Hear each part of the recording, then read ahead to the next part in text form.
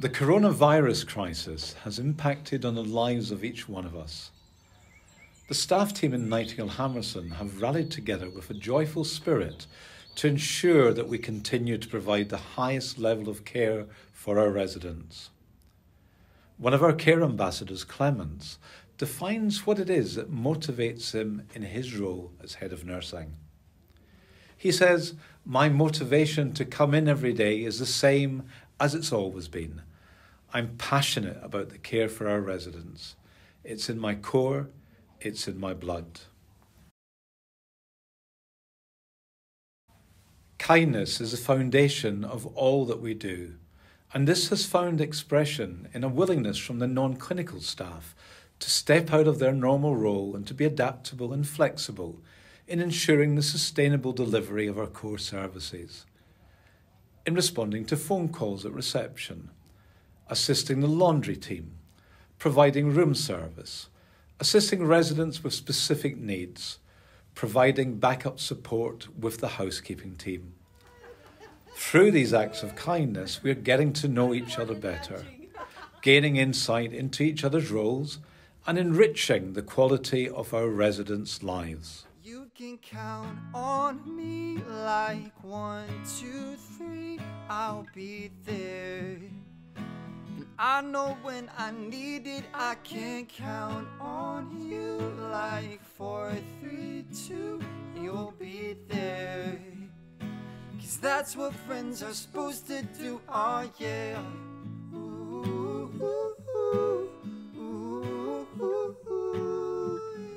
you can count on me, cause I can count on you. What has been the impact on our residents? At the beginning of the lockdown period, the residents were largely unaware of what was happening in the wider world.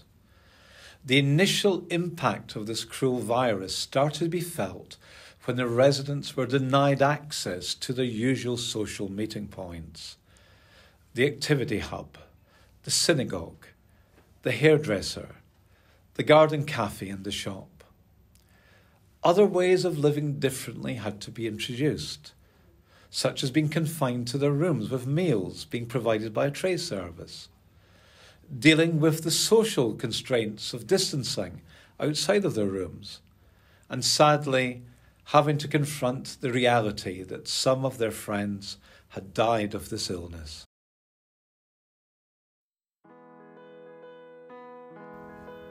The engagement team continued to spread a little happiness on a daily basis by accommodating the residents' needs and preferences.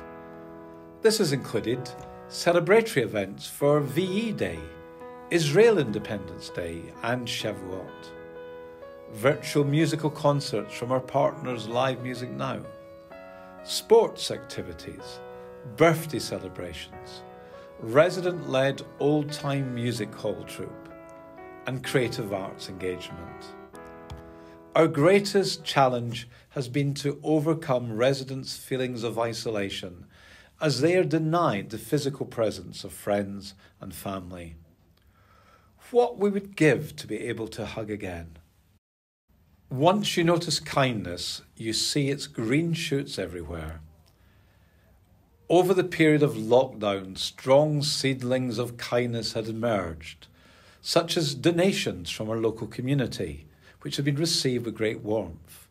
This has included Helpful Engineering, who gave us 600 face visors, South London Scrubbers, who gave us hundreds of masks and gowns, and our representative from the Armed Forces, who provided the long awaited testing resources.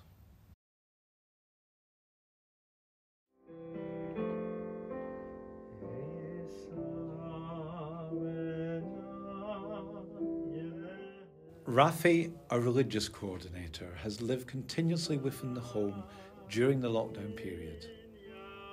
He has provided opportunities despite restrictions for our community to continue to celebrate Jewish tradition. He's helped residents hold on to their faith as a deep source of strength. This has been particularly evident in the precious moments when he was able to provide comfort to families while their loved ones were dying.